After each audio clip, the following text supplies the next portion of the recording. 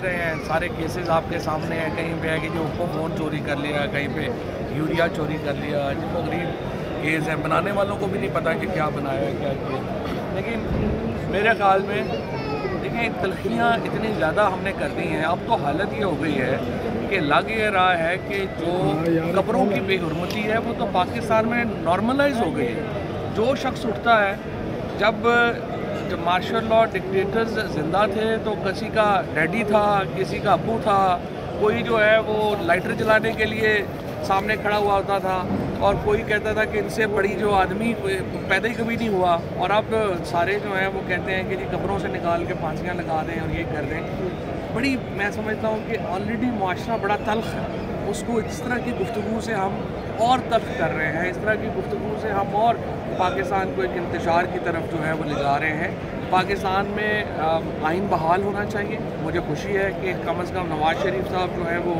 उन्होंने वापस ली है ले रहे हैं नून लीग की जो सदारत। और उसके बाद मैं समझता हूँ कि नवाज़ शरीफ को बढ़ना चाहिए आगे। क्योंकि देखें ना, हुकूमत नहीं बढ़ना है। तलखियाँ तो हुकूमत ने कम करनी है ना अपोजिशन ने तो नहीं करनी। आज जिस तरीके से इद्दत केस में इमरान खान के साथ, उनकी बेगम के साथ, बुशरा बीबी के साथ जो जुल्म और ज़्यादती हुई है उसको हुकूमत को आज चाहिए, उसको ख़त्म करके माफ़ी मांगे बुशरा बीबी से।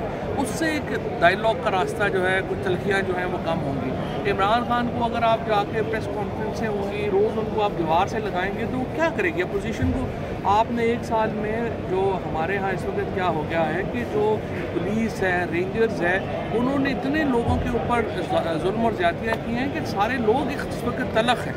इस तलखियों को कम करने का तरीका वाद तरीका जो है, वो डायलॉग है। और डायलॉग के लिए उससे पहले उसका माहौल बनाना जो है, वो ज़रूरी है।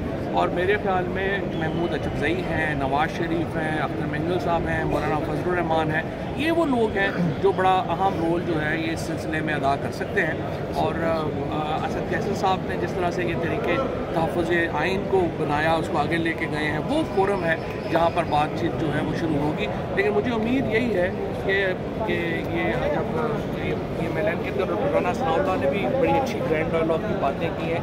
देखिए तलखियाँ बढ़ाना तो बड़ा आसान है। कोई भी आज ये कर दो वो कर दो तलखियाँ बढ़ जाएँगी।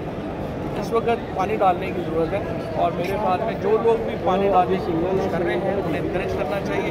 इमरान खान का बाहर जेल से बाहर आना पाकिस्तान के अवाम के जख्मों पर मरहम रखते पाकिस्तान के अवाम इस वक्त दुखी हैं और उस दुख का मुदावा सिर्फ़ ये है कि इमरान खान जेल से बाहर आए। पाकिस्तान के अवाम का लीडर इमरान खान पाकिस्तान के अवाम का लीडर कोई और नहीं है। जो भी कोई और बात करना चाहे इसका मतलब है उसको पाकिस्तान में इदराक ही नहीं है।